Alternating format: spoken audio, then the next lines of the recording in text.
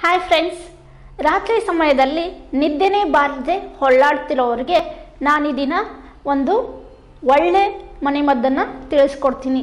ಇದು ಸುಲಭವಾಗಿದ್ದು ಮತ್ತು ಮನೆಯಲ್ಲಿಯೇ ಮಾಡ್ಕೊಳ್ಬೋದು ಮತ್ತು ಯಾವುದೇ ಅಡ್ಡ ಪರಿಣಾಮ ಇಲ್ಲ.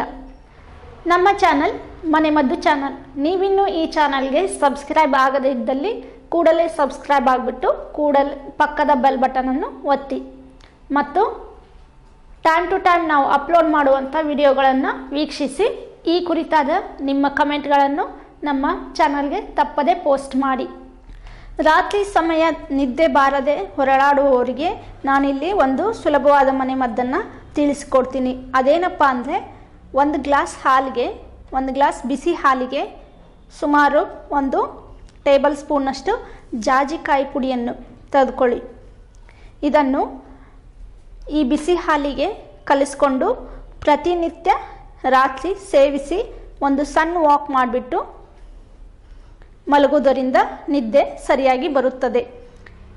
ಇದಲ್ಲದೆ ಹಾಲು ಬೇಡ ಅನ್ನೋವರು ಒಂದು ಗ್ಲಾಸ್ ಬಿಸಿ ನೀರಿಗೆ ಜಾಜಿಕಾಯಿ ಪುಡಿಯನ್ನು ಹಾಕ್ಕೊಂಡು ಚೆನ್ನಾಗಿ ಕಲಿಸಿಬಿಟ್ಟು ಅದನ್ನು ಸೋಸಿ ಕುಡಿಯುವುದರಿಂದಲೂ ನಿದ್ದೆ ಚೆನ್ನಾಗಿ ಬರುತ್ತದೆ.